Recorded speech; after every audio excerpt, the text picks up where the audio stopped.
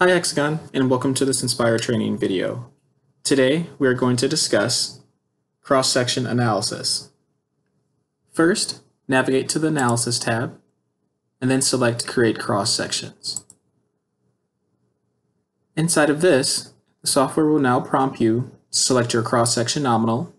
I'm going to select my CAD model. Next, a request for my cloud data. I'm going to select my cloud 1 press enter. And then now I have the ability to select planes that were previously extracted, or I can add additional planes inside of the cross-section properties. I'm to select the plane right here, and I'll select the plane right here, and I'll do one on the side.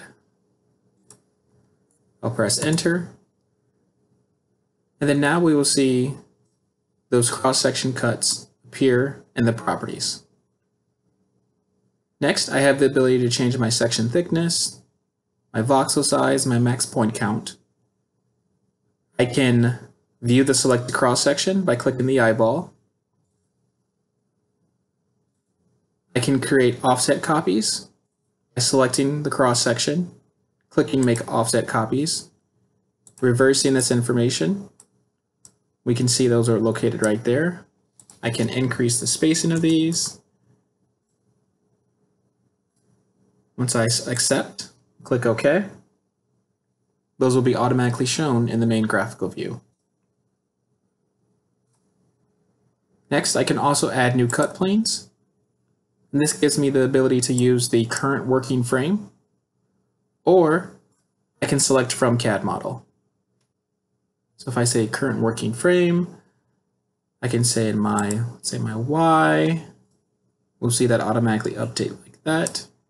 Or I can say in my Z. Give it a start and offset, I can say 10. So let's say I want to make one copy. And I'm going to click OK. I can change the size of the magnification of my vectors. I can increase those and I can decrease those. It's going to be a little bit easier to see once we get into each individual cross-section cut. And I can also change the colorization. Say I want to change my tolerance to 0.2. Once you are complete, simply left click on the cross-section cut and then click View Selected Cross-Section.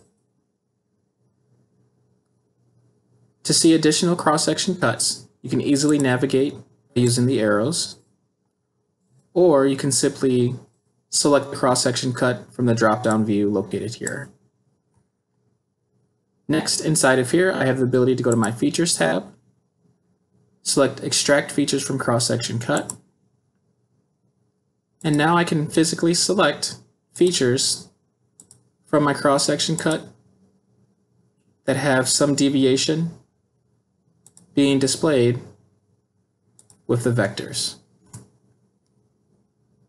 If you are unsure about an area, you can easily click on the cloud slice, which will show you where the cloud data has been extracted from your cloud data in relation to the CAD model. Next, I can go to reporting and I can select create regional callouts. And I can physically select different callouts located in my cross-section cut. Once I'm complete, I can press enter. I can also add dimensions. I'm to click on a linear dimension. So I want to know the dimension from this line to this circle. We can see that appears now in the cross-section cut. You can also add this to a drawing. So under the Reporting tab, click on Create new quick drawing.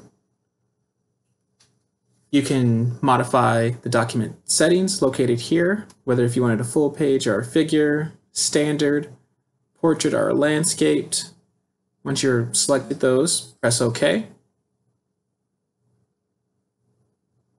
And then now you have the additional ability to modify the cross-section cut more here. Once you are complete, click on the X, and then now you go back to the cross-section cut view.